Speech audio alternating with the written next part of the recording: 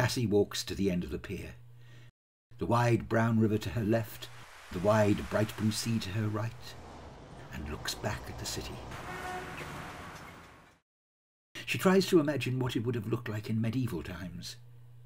She imagines a collection of small wooden buildings, a few fishing boats, a minor seaport sitting under the lee of a Norman castle, the lonely cries of seabirds on the breeze, the smell of fish.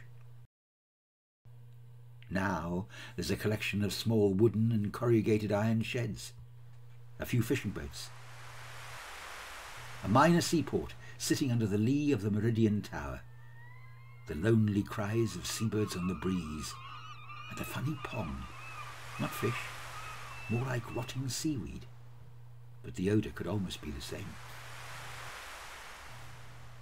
Yes, on the crazy steep hills of the uplands you can often get a glimpse of the sea.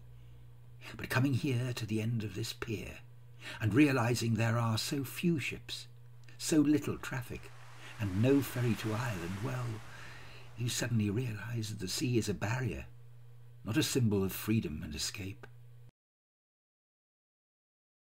She turns to go, and as she does, she's dazzled by low golden rays of sunshine. Her mood inexplicably lifts.